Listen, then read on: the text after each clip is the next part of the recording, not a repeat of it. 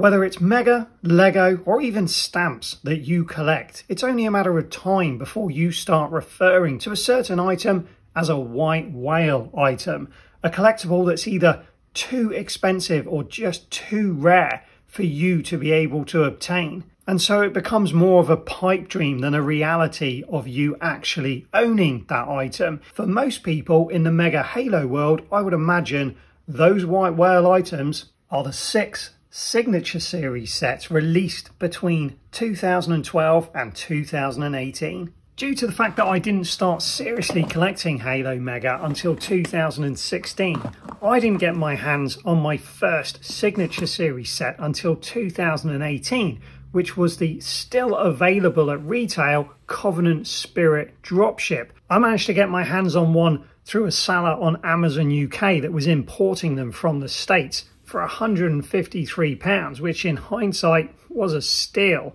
I then went on to import two more from Amazon.com as they were on special offer at the time for just over $100, but by the time you put shipping and import taxes on, they ended up being more expensive. I begrudged those costs at the time, but looking at what they cost now, no regrets whatsoever. Once I'd experienced how impressive a Mega Halo Signature Series set is, I made it my mission to one day, hopefully, be able to get my hands on one of every set. But even back in 2018, the older sets were already skyrocketing in price compared to their original retail. As I couldn't bring myself at the time to pay the £350 for the Pelican Airbase, the £400 for the Mammoth, or the £600 for the Scarab, or Forward Unto Dawn, which were all way above retail, I opted to not buy any more Signature Series sets for another year until the UNSC Infinity came out and you could get that from retail. I then imported two of these sets from the States at retail for $175 and that became my second Signature Series set. So in 2019, I was two down, four to go. After the Infinity, I continued to monitor prices of the final four sets which sadly continue to go up in value as they have done to this day. The fact that the UNSC Infinity was the last set that Mega created only added to the problem of the retired sets increasing in value. And once again, I wondered if that would be the last Signature Series set I would get my hands on. But then one evening in November 2020, I was doing my usual eBay checks and came across a new listing for a brand new in box UNSC Mammoth. Buy it now. £250. I couldn't believe it. I hit the button instantly, got the bid, and sure enough, it turned up well packaged, mint condition, brand new in box. I couldn't believe my luck. The Mammoth was actually the third Signature Series set that Mega released in 2013 It came with 2,030 pieces and still to this day, 11 years later, is a really solid, good looking build. And once again, I wondered if that would be the last Signature Series set I would get my hands on. And it was for nearly two years before a viewer reached out to me introducing himself and letting me know that he wanted to try and help out with my collection by selling me one of his brand new in box NMPD Pelican Airbase sets for its original retail. Obviously, I was completely blown away to be able to pick one of these sets up at retail this many years after its original release was just incredible. I've since become very good friends with this viewer who also has a YouTube channel which you may know as Mega Chief Construx Creator. If you haven't checked him out already, check him out after this video. He's got some very interesting builds. So by the middle of 2022, I now had four of the six Signature Series sets, the Pelican Airbase being the fourth set that Mega produced that was thrown an awful lot of shade on its original release, but I think has become one of those sets that a lot of people wish they hadn't passed up at the time.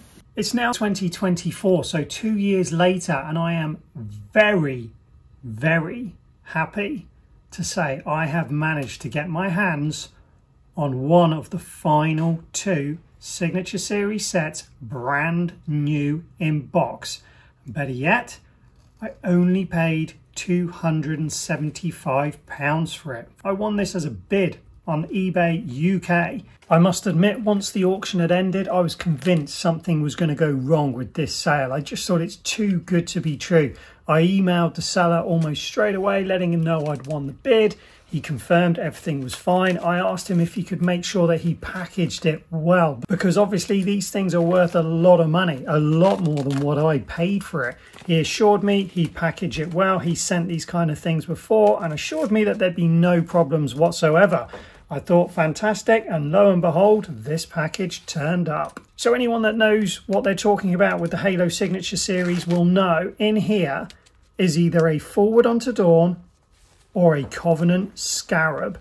That's the first and second set that Mega produced for the Signature Series Halo line. The Forward Unto Dawn being the first set and the Covenant Scarab being the second set. Obviously, everyone will have their favourites, but in all honesty, both of those sets are just pure white whale sets. They were always going to be the most difficult ones to get, which is why they've become the last ones for me to get. And as you can see as I unwrap this thing, the seller did an absolute first class job. I went through four layers of packaging, including bubble wrap and all the securing tape. But once I got through it all, it's time to reveal that the fifth and final signature series set in my collection is the Forward Unto Dawn. And just look at it. I cannot express how excited I was to receive this and get it unwrapped for my collection. This is pure Halo Mega Bloks nostalgia and what a set to have after all these years. As you can see, the box unfortunately is not in mint condition. There's definitely some shelf wear around the edges and there's a small crack in the front of the box. But for £275 instead of £1,500, which is the going rate for these when they're new in box and mint condition, I can definitely handle a few scuffs and scratches. I'm just really, really pleased to have one. I've never owned one before. I don't have one open. And for me, this is a real golden moment in Halo Mega Bloks collecting. So that's five of the Signature Series sets collected, which means there's only one left to go, which is the Covenant Scarab. And what a set it is. I've never built one, never owned one, I've never even seen one in real life. I can only look at the pictures on the internet like most people do. So will I be fortunate enough to pick one up in the future?